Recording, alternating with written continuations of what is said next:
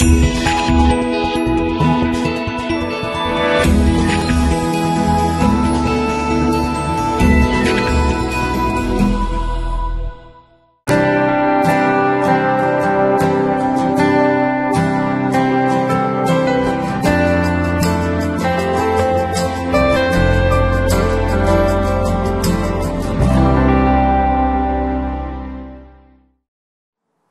Hello and welcome to Living Life, uh, April the 5th.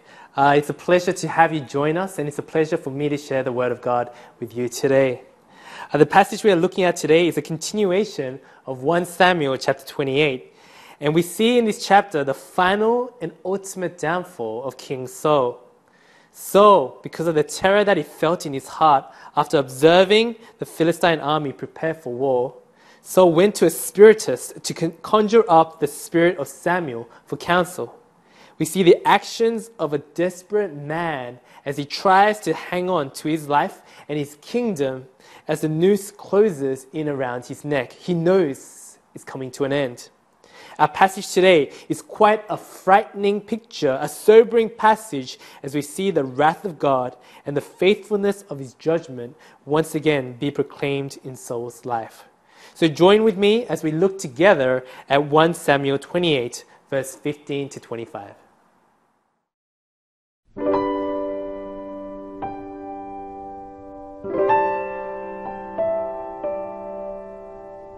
First Samuel chapter 28 verses 15 through 25. Samuel said to Saul, Why have you disturbed me by bringing me up? I am in great distress, Saul said.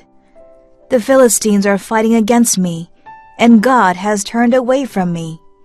He no longer answers me, either by prophets or by dreams. So I have called on you to tell me what to do. Samuel said, Why do you consult me, now that the Lord has turned away from you and become your enemy? The Lord has done what he predicted through me. The Lord has torn the kingdom out of your hands and given it to one of your neighbors, to David. Because you did not obey the Lord or carry out his fierce wrath against the Amalekites, the Lord has done this to you today. The Lord will hand over both Israel and you to the Philistines, and tomorrow you and your sons will be with me. The Lord will also hand over the army of Israel to the Philistines. Immediately Saul fell full length on the ground, filled with fear because of Samuel's words. His strength was gone, for he had eaten nothing all that day and night. When the woman came to Saul and saw that he was greatly shaken, she said, Look, your maidservant has obeyed you.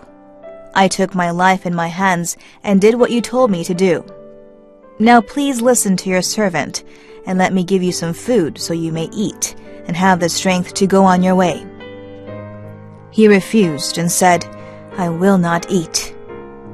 But his men joined the women in urging him, and he listened to them. He got up from the ground and sat on the couch. The woman had a fattened calf at the house, which she butchered at once. She took some flour, kneaded it, and baked bread without yeast. Then she set it before Saul and his men, and they ate. That same night, they got up and left.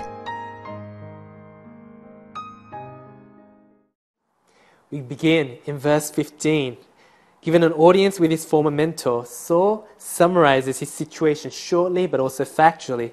He tells Samuel that the Philistines are threatening against him and that God has withdrawn from him. Verse 15. Saul's concluding explanation reveals his desperate and hopeless situation.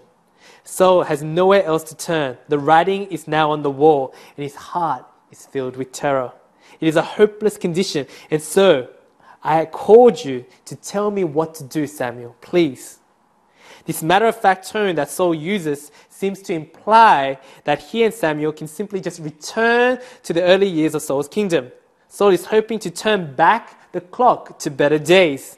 It is as though he wants Samuel to forget all that has happened, as if he is saying, Hey, please ignore this medium standing here and this illicit way that I've contacted you, or your various condemnations of my character in the past, or the way I've recklessly sought to kill David while neglecting the Philistine all these years.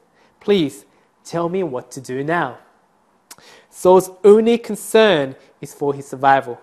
It is not the honor of God or the will of God to be done for Israel and through Israel, but it is for His will to be done.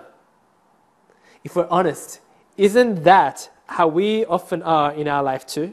That we neglect our relationship with God, that we don't give a rip about God during the highs of our life but as soon as we hit the wall, as soon as we are in our lows, then we want to rub that lamp. We say that prayer like God is some kind of magical genie to rescue us and to do our bidding.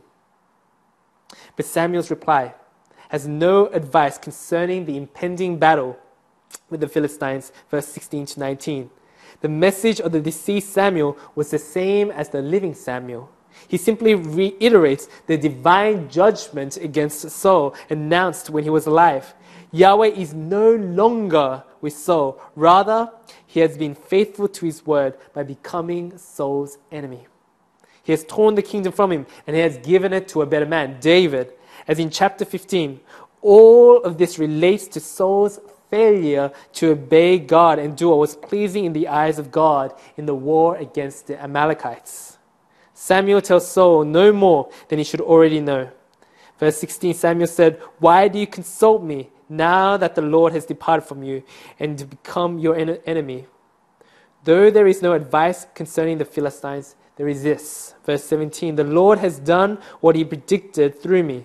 The Lord has torn the kingdom out of your hands and given it to one of your neighbors, to David because you did not obey the Lord or carry out his fierce wrath against the Amalekites, the Lord has done this to you today.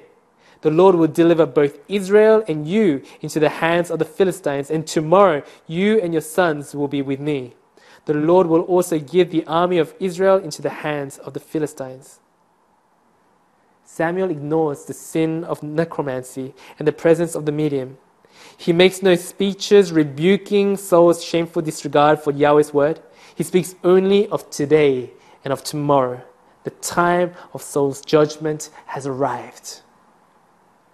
We see Saul's lack of food has variously been explained as a necessity of war because food was not easily accessible or as a result of his emotional state.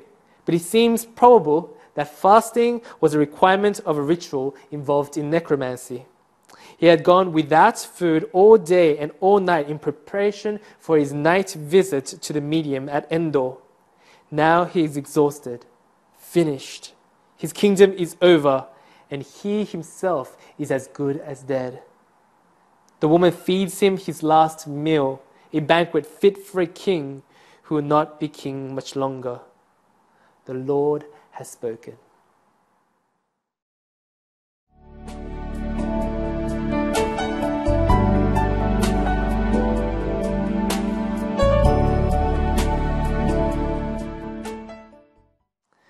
You can really learn a lot about people by observing where they turn to in times of trouble.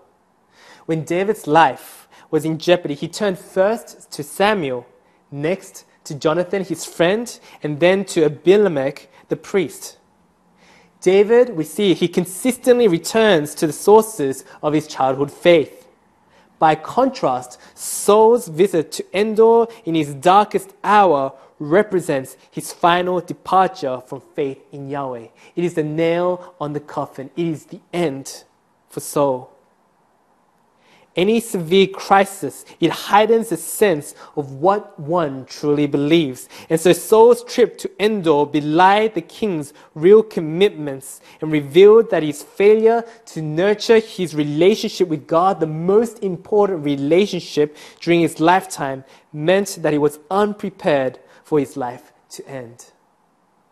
Christians must attend to that most important of all relationships so that in our moment of crisis, which is inevitable because those days will come, we can face God with confidence and hope. How far has Saul fallen? How far has he come?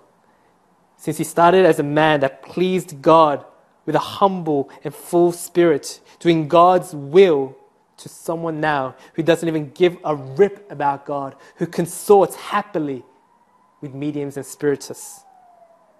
We have come a long way from the depiction of Saul as head and shoulders above the crowd, the man of God's own choosing in 1 Samuel chapter 10, verse 23 24. Saul's life is a warning to all of us today of the slippery slope that is our faith and life. That we must all be vigilant in our faith because God's judgment is sincere. So, brothers and sisters, let's continue to fix our eyes, to fix our gaze upon Christ, to not trust upon ourselves, to run away from our idols, and to run to Christ today. Let's pray. Father God, we do thank you so much that your love for us is sincere and it is never changing. That though we may run from you, Father God, that you are always there once again to receive us. So we come to you today in repentance, asking that you will forgive us of our idols. Lord, we want to fix our gaze upon you. We want to cultivate that relationship with you, Father God. So, Lord, may you continue to work in us. Continue to work a good thing in us, Father God. Draw us closer in intimacy with you. That when the days of, of storms and waves come, when the days of persecution and confusion come, that, Lord, we will be able to stand up straight, that we'll be able to fix our gaze upon you and be held accountable by you. So we thank you so much once again for your word today. We thank you for the encouragement that it gives us, Father God. We ask by your Spirit that you'll continue to lead us today. And in Jesus' name we pray. Amen.